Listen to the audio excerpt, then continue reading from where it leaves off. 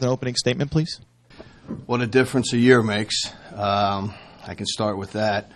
Uh, these two guys next to me, a year older.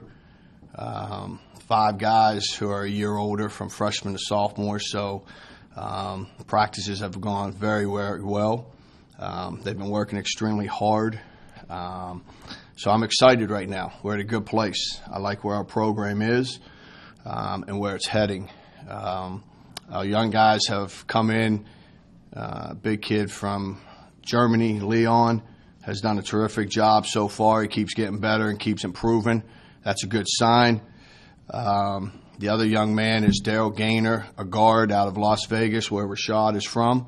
Uh, has done a good job as well and picking stuff up. Um, it's amazing. I tell these guys, um, we had seven of those guys last year, and my head was going crazy last year. And, and uh, I think they can appreciate a little bit what those guys are going through this year. Seeing Daryl and Leon and, and uh, Evo and Danny Mahoney and Ryan Singer deal with that. So um, I'm, I'm, proud of where the freshmen have come, in, but I'm really excited about the, the guys returning. Um, practices have gone a lot smoother.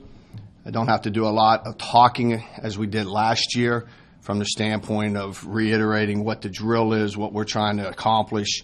These guys understand what we're doing, um, whatever drill it is, um, and they're making shots. They're bigger and they're stronger, they're faster.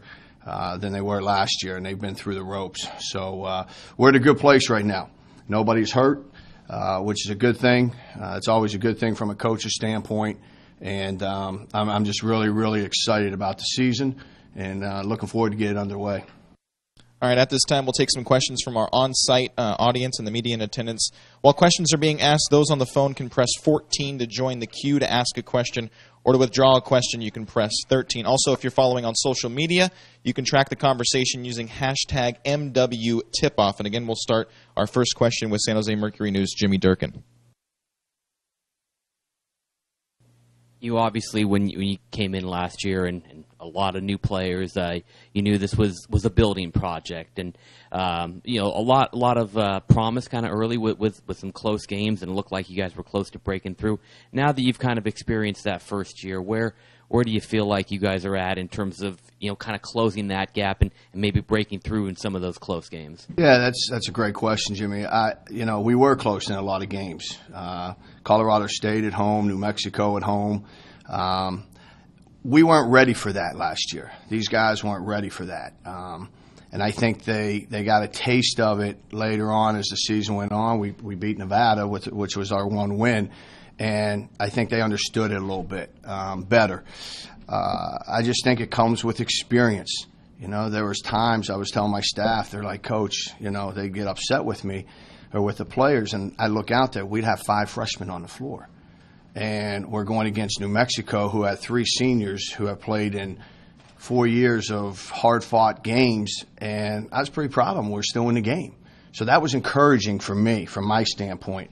Um, and all I think we needed was experience with Jalen, obviously, and Rashad next to me, um, who got that experience, and hopefully that that takes another step this year. Now it's the next step to, like you said, breakthrough, and let's close these games out. Let's win these games. So that's what I'm really excited about. And um, I think with the additions of the new guys and, and the guys sitting out last year, um, we're, we're a lot deeper than what I was last year.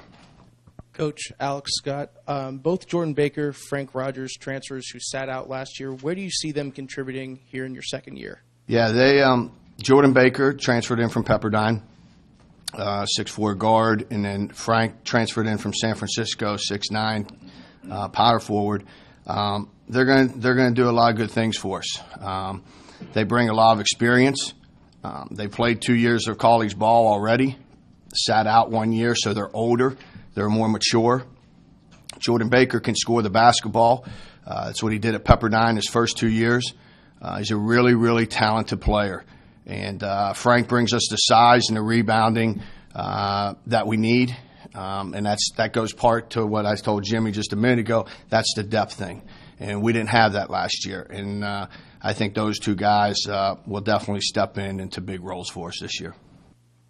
Dan Riga, coach. Other than the the depth that you were talking about, in what area will your team improve most from last year? I just think we'll we'll be better um, with the basketball. Uh, I was worried last year. We took a lot of threes last year, and uh, partly that was me. I wanted them to shoot the ball because I was afraid we were going to turn it over with all the young guys. I'd rather get a shot at the basket than turn the ball over. So I think this year, I think we value the basketball a little bit better in practices. Um, we're not turning it over, throwing it into the fifth fifth row of the stands, that type of thing. Um, but I, I'm hoping, and I, and I feel that's one area that we will be stronger at.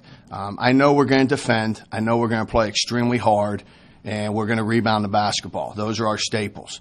But the one area we have to do a better job is taking care of the basketball, and I think that we will because that's just as I tell these guys all the time. We can't take away opportunities. We have to take advantage of every opportunity we have. So I think that's the one area hopefully we'll get better at, and I think Jalen's a big part of that, and obviously Rashad is because they're they're handling the ball a lot.